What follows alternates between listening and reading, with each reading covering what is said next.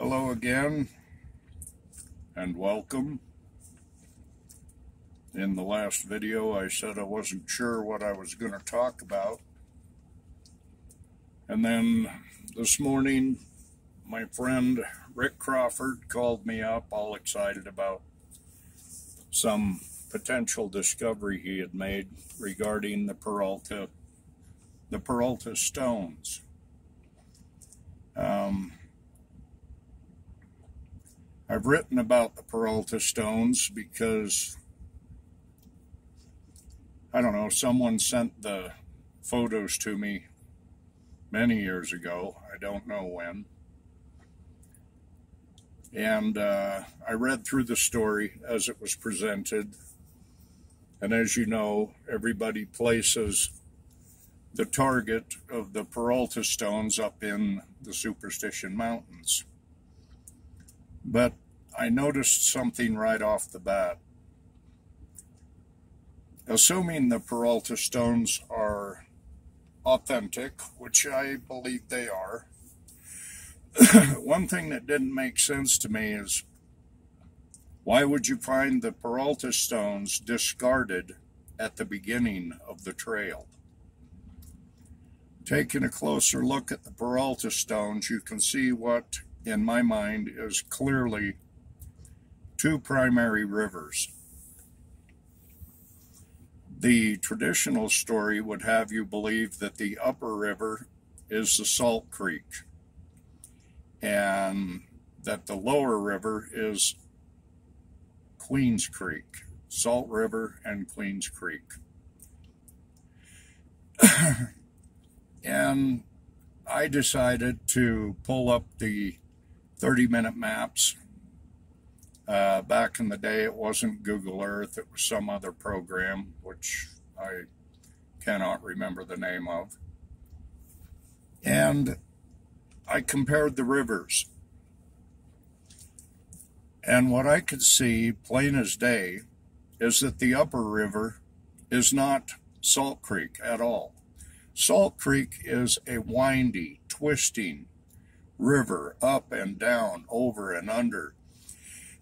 there's there's no way that that upper river is Queens Creek. Or I mean Salt Creek. Salt River. Um, if you take Google Earth today and you highlight the rivers in that area where the Peralta claims were in part. Um, you can see that the upper river is Queens Creek and the lower river is the Gila. This changes the entire location. At this point, I couldn't help but imagine all the people who have spent weeks, months, if not years, in the Superstition Mountains looking for something that isn't there. Doesn't it make more sense that you would find the Peralta stones, which were found right by Apache Junction, supposedly? But doesn't it make more sense that they would be found at the end of the trail where you no longer needed them? And this is assuming that that's what happened, is that they were done with them, they discarded them. Well, looking at this new information changes the entire location of where the center of the heart would be on the map. And uh, with this information, I decided to do an overlay, on a tracing myself, which I did. And that point in the middle of the heart lands smack dab on the Reymert Mines. Now, what are the Reymert Mines? The Reymert Mines was one of the largest or larger silver deposits discovered in Arizona by a man named James Denoon Reymert. now, most probably wouldn't uh, investigate this any further than that. But I decided to look into the history of James Denoon Raymer. Turns out he's a Nordic man. His mother, her name, believe it or not, was Jeanette Sinclair. Interesting last name. And he ended up migrating to the United States. I'm not sure what year. uh, I think it was somewhere around 1840 something.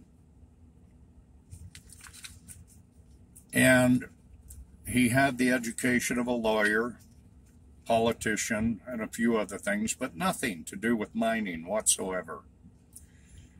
And at one given point, because of health reasons, he he uh, went to Chile at a place called Biobío River in Mulchen, Chile. Again, most would never think to research that a little closer.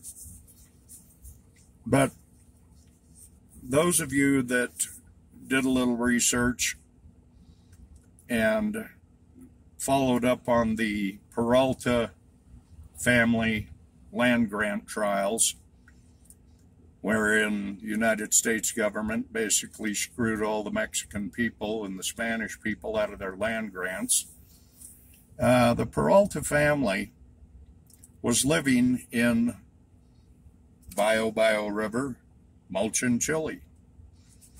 And they've been there since before 1750.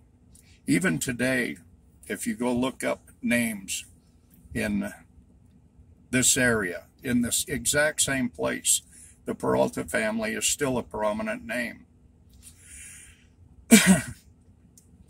well, James Denoon Reymert spent three years down there. And when he come back, he landed in San Francisco, uh, got a message or something from somebody. I can't remember what it had to do with, and he was off to Pima County, Arizona, where he miraculously discovers one of the largest silver deposits in Mexico or in uh, Arizona. I find this to be a little coincidental. A man who knew nothing of mining, man, I wish I had that kind of luck. It seems to me that James Denoon Reymert got to know the Peralta family while he was down there. And it would seem that the Peralta family shared certain information with him. And I'll bet, if you could dig deep enough, that uh, a certain stipend of the proceeds that he got from the Reymert mines probably found their way down to Chile. Now, if you want to read up on this a little bit more, with a little more detail, uh, go to Tuscoro.com and look up the article, The Peralta Stones. Um, I'm not sure what more I can tell you about this. I had uh, planned on inserting images into this video, but I know that most people don't have the time to sit and watch long, dragged out videos. and besides, all the photographs, the pictures that would fit along with this are going to be right there in the article. Um, I believe I've covered all.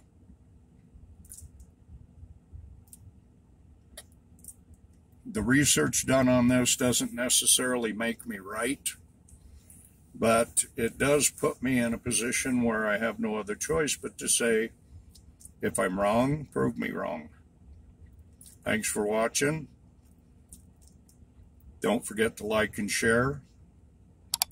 And we'll see what I come up with next time. Thank you.